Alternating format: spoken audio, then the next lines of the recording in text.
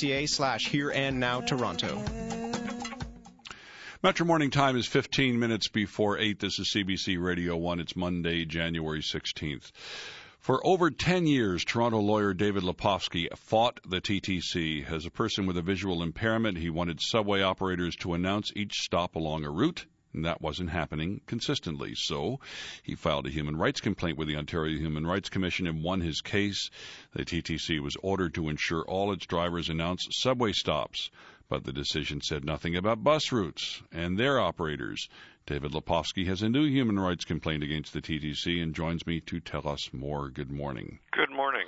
So you've launched another human rights complaint? Unfortunately, I've had to.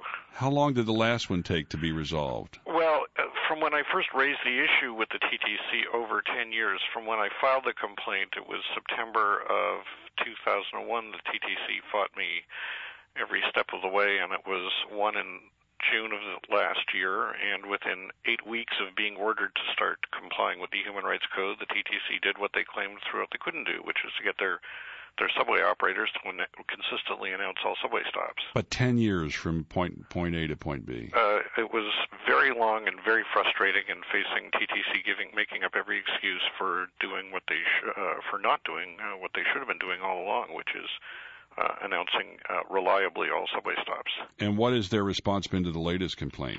Well, what's really unbelievable is this, uh, Andy, is you, normally if an organization, especially one that's part of the government got you know senior municipal politicians at the head. Uh, if if if they haven't been in compliance with the law and they hire lawyers and they and they fight and they lose, you'd figure when another case comes along that's pretty pretty similar that they'd they'd have learned their lesson. But it unfortunately seems that they haven't. They they are. Uh, taking pretty much the same position in, in my complaint about announcing all bus stops as they took uh, in my case on subways. In the subway case, they said uh, we're doing what we have to do, and we promise that we're going to institute an automated system in some time that will announce all stops. Uh, on the subway route, um, I didn't hold my breath, which is good because they didn't comp- comply with instituting that automated system along the timelines they had promised me in the 90s. Um, now they're saying the same thing about the buses. They're saying, well, we don't have to require our operators to announce all stops on the buses and streetcars. It's it's okay if they just announce major intersections and your own stop if you request it. And by the way, we are going to institute an automated system sometime in the future mm. to announce all bus stops. Now, the important thing is to tell you this: two things. First, I'm not asking them to spend a, a penny on new technology. Uh, every bus has and streetcar has a driver, and I hope they know where the stops are, so they ought to be able to announce them. Uh, and the second thing is their current practice is inadequate because um, right now what's what's necessary for me as a blind person is got to find a driver and ask them to announce my stop and hope that they will. The problem is that sometimes they don't, not because they're bad people, they're good people, but because uh, if you're driving a bus route back and forth every day, it's easy to forget the particular one you were asked to announce. It's can we, can, can we go to the Can we go to the good people who are the drivers? Some of them voluntarily. You know, some of them sing songs to us, but some of them will announce every single stop. They seem to think that this is part of what they're there for.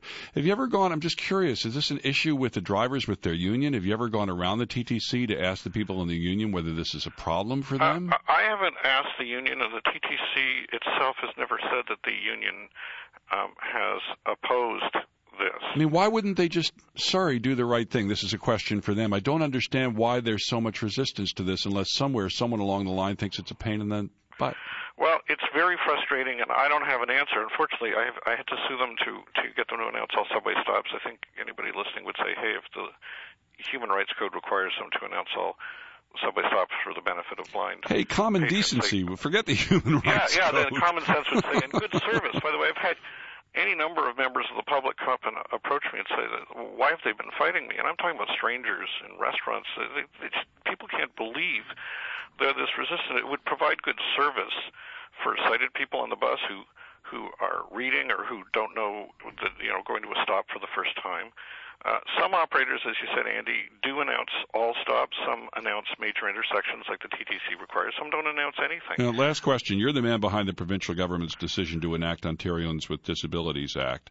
How will the new legislation, or will the new legislation, change things so that people like you don't have to spend time filing human rights complaints? Well, the, the government, under the new Accessibility for Ontarians with Disabilities Act, which the McGuinty government brought in last year, uh, will be required to set up uh, standards development committees that will hopefully, for example, in the area of public transit, set a standard that would require this of all bus uh, public transit providers in the province, so that someone like me doesn't have to go fight this one uh, one issue at a time. But in the meantime, I've got to go back and, and unfortunately fight the TTC because they are yet again just battling every step of the way mm. rather than doing the right thing. We asked them, by the way, uh, to talk to us about this. They declined to do so on air. I'm not sure why. We'll continue to ask, and thanks for catching us up with us. Much. David Lepofsky is a lawyer and has filed his second human rights complaint against the TTC after waiting 10 years for the resolution of the first one. Maybe you're a driver. Maybe you have a window on this that uh, that is not clear to us. We'd love to hear from you via the Vox Box 416-205-5807.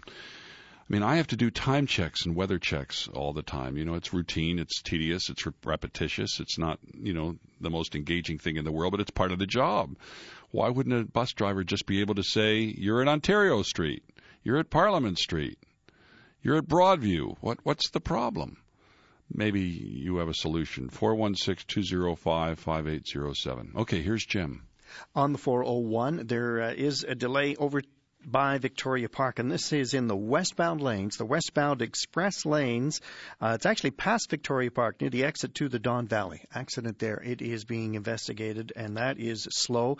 As well, coming down the 400 southbound to eastbound 401 on that ramp working to clear an accident. Left lane blocked short time ago. 409 eastbound approaching the 401. That's the scene of earlier trouble, as well as on 403 eastbound by Erin Mill. So you may encounter delays in those areas as well. On uh, the Don Valley, back to normal on the southbound parkway, and normal build-up coming in on the Gardiner Expressway. Eight minutes before eight on CBC Radio 1. Over the Christmas holidays, writer Marnie Woodrow dropped by our studios to talk about the culture of rudeness that is on the rise in Toronto. Today she stops by to talk about volunteering, something she finds too few of us are prepared to do. Good morning, Marnie. Good morning, Andy. So you have volunteered to talk to us about volunteering, and you volunteer yourself. I volunteer at a fitness and literacy program called Running and Reading, which is in Regent Park. How'd you get into it? I saw your name actually associated